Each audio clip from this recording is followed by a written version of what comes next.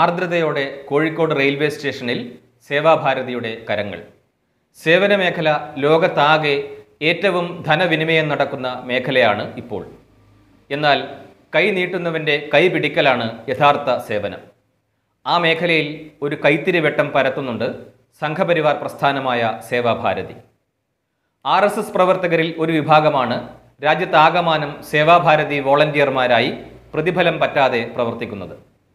രാവും പകലുമില്ലാതെ ആർക്കും പ്രളയത്തിലും വരൾച്ചയിലും സഹായഹസ്തമാണ് സേവാഭാരതി. സ്നേഹം കോർത്തുപിടിച്ച സേവാഭാരതിയുടെ കോഴിക്കോട് യൂണിറ്റിലേക്ക് മാസങ്ങൾക്ക് മുൻപ് കോഴിക്കോട് റെയിൽവേ സ്റ്റേഷനിൽ നിന്ന് ഒരു കോളെത്തി. മഹാവ്യാധിയുടെ നാളുകളിൽ അവശ്യയാത്രകൾ വേണ്ടിവരുന്നവരുടെ യാത്രകൾ സാധ്യമാക്കാൻ സഹായം ചോദിച്ചായിരുന്നു റെയിൽവേയുടെ വിളി. കോവിഡ് പ്രോട്ടോക്കോളിൽ ഇപ്പോഴത്തെ പോലെ ഇളവുകൾ ഇല്ലായിരുന്ന ലോക്ക്ഡൗണിന്റെ ആദ്യ നാളുകളിലായിരുന്നു അത്.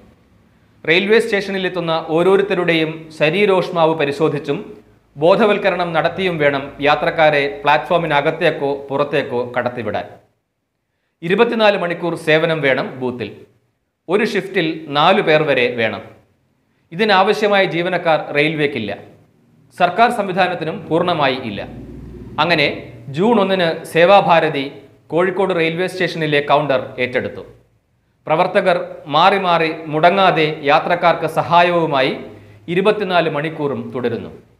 മാസങ്ങൾ പിന്നിട്ട സേവനം.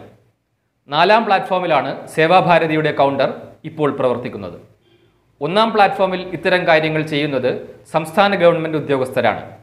കൗണ്ടറിൽ ശരീരോഷ്മാവ് പരിശോധനയും ബോധവൽക്കരണവും നടത്തുകയും സാമൂഹിക അകലം പാലിക്കുന്നു എന്ന് ഉറപ്പുവരുത്തുകയും ചെയ്യുന്നതിനപ്പുറം റെയിൽവേ ജീവനക്കാർക്ക് mask sanitiser gloves P P E kit തുടങ്ങിയവ ലഭ്യമാക്കുകയും ചെയ്യുന്നു സേവാഭാരതി. റെയിൽവേ ആവശ്യപ്പെടുന്ന അത്രയും കാലം സൗജന്യ സേവനം തുടരുമെന്ന് സേവാഭാരതി വോളണ്ടിയർമാർ വ്യക്തമാക്കി.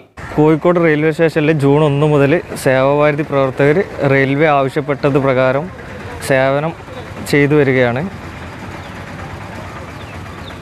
തികച്ചും സേവനമായിട്ടാണ് സേവാഭാരതി പ്രവർത്തകർ ഇവിടെ ഇത് ചെയ്തു വരുന്നത് കോവിഡ് പ്രതിരോധ പ്രവർത്തനം.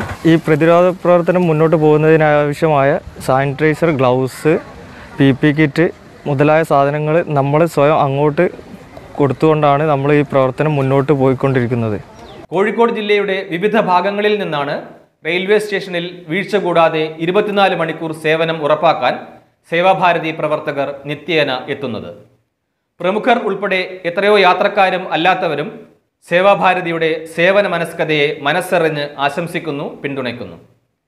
ആരോഗ്യമേഖലയുമായി ബന്ധപ്പെട്ട നിസ്വാർത്ഥ സേവനം സേവാഭാരതിക്ക് പുതുമയുള്ളതല്ല.